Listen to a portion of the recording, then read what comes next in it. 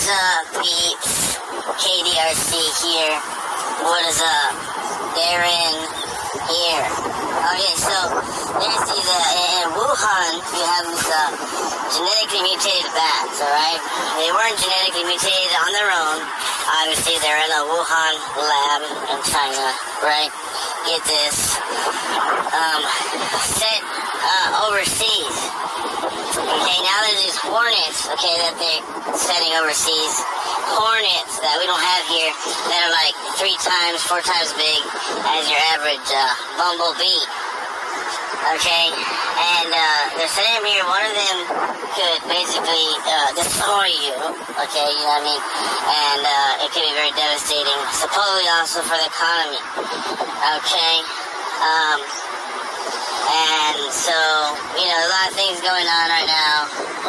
Uh, not to mention, you know, Kendall uh, doing his garbage, uh, double double uh, crappy food reviews. And uh, I'm just reporting on that bullshit as well. But you know, since I'm hiding my, my real voice behind this voice, I'm gonna go ahead and talk about the Wuhan lab and what they're doing over there in China. And uh, there's certain words I won't use here on this platform because they're just straight up taboo.